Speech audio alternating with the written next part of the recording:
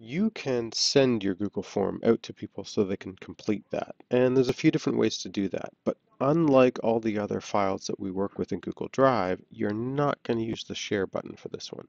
So that can cause you problems. Let's take a look at why. When I'm here in my form and I'm ready to send this out to somebody, what I'm going to do is come up to the big purple send button.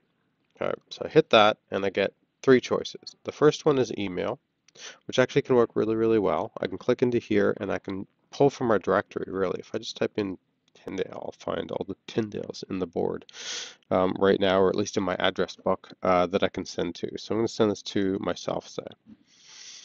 The subject is going to be the name of whatever your uh, form is called, and certainly you can change that to whatever you want, like please fill this in now. Um, and the message is just going to say you've been invited to fill out a form and then there's generally a link to that form. Now, what I can do is check this little box here that says include the form in the email. What'll happen there is it's going to take that form and kind of embed it directly into the email so that users can actually receive that email and then fill out the form right then and there inside Gmail or whatever their email might be, rather than having to click a link and kick out to a new tab. You don't have to check that box, but you certainly can. The next option over, probably the most common one used actually, is going to be a link. So here I could hit copy and it would copy that big long ugly address for me. Or I can shorten that address and then copy and it's going to copy that much shorter one. And you might still just go right to Gmail and paste this into a message and type something up for a large group or something if you want to do it that way. You won't get the embed in your email option this way because when you choose a link, it doesn't know what you plan to do with that. I mean, you could post that on a website, you could put it on Facebook, you could tweet it out, you could do whatever you want with that. You're ready to go. That doesn't even include the fact that it's got some sort of social media options right here for you as well.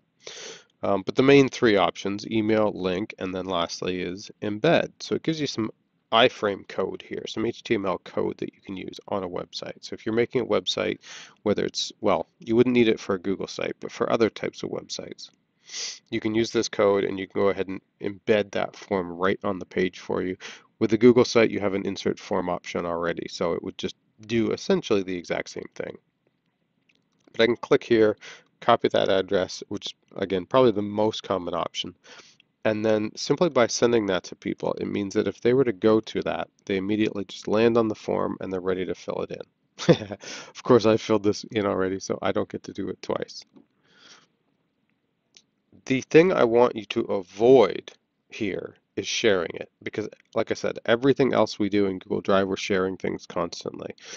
Sharing here is adding a collaborator.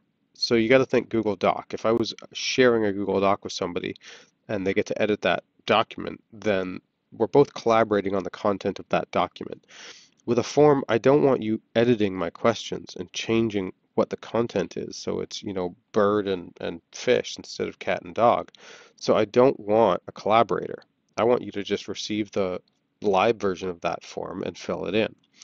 Um, but when I add a collaborator here, I'm immediately adding them as an editor that you don't get that sort of view access that you would get with a document or something else.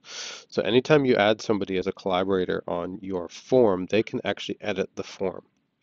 And that's a problem, especially if they don't realize it. They'll come in here and they'll say, how many pets do you have? And they click it and they start typing their answer. I've seen it many, many times. The other way that will happen is if you decide, oh, I'm going to send this form or make this available to, say, my staff, if I'm, uh, you know, admin in a school or just another teacher in the school. If I go and save this in a shared drive, a drive that's shared with all of my colleagues and they all have editing access to that drive, it means when they go to that link that I've sent them, they may end up on this screen where they can actually edit it and again not even realize that's what they're doing until they've already messed up some of your questions. So you really want to avoid um, that inclination to right click something and say share or possibly when, while you're inside it click the three dots and add collaborators. They do the exact same thing and 99% of the time with a form that's not what you want. So go ahead and use the send button and that's going to give you those three options right there again for you to use that and have people fill in your form and complete it for you the correct way without messing up the questions that you've created and uh, allow you to collect all that data properly.